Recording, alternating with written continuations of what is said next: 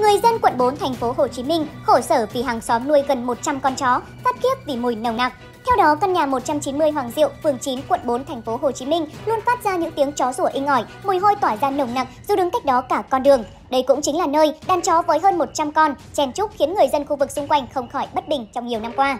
Nhắc đến căn nhà và đàn chó này, bà TTH quận 4 thành phố Hồ Chí Minh sống gần đó không khỏi bức xúc bởi nó ảnh hưởng đến bà trong từng bữa ăn, giấc ngủ mỗi ngày.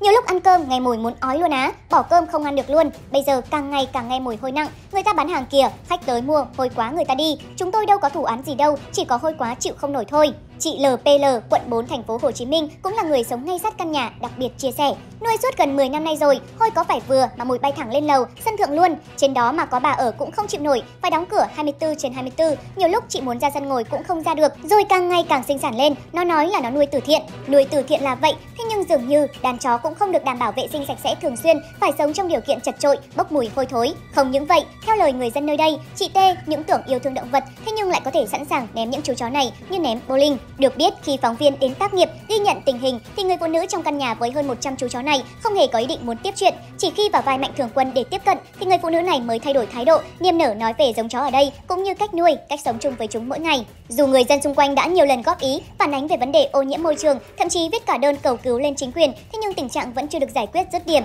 Theo lời người dân kể lại, khi được góp ý về vấn đề nuôi chó là mất vệ sinh thì những người trong căn nhà này đã có những phản ứng quá khích, dùng gạch đá, cây để tấn công lại. Dần ra, những người dân nơi đây chỉ có thể biết chịu đựng và tự có cách khiến cho cuộc sống của mình dễ chịu hơn một chút như việc là đốt vỏ bưởi, không bao giờ mở cửa nhà hay đơn giản là không ra ngoài hiên đứng.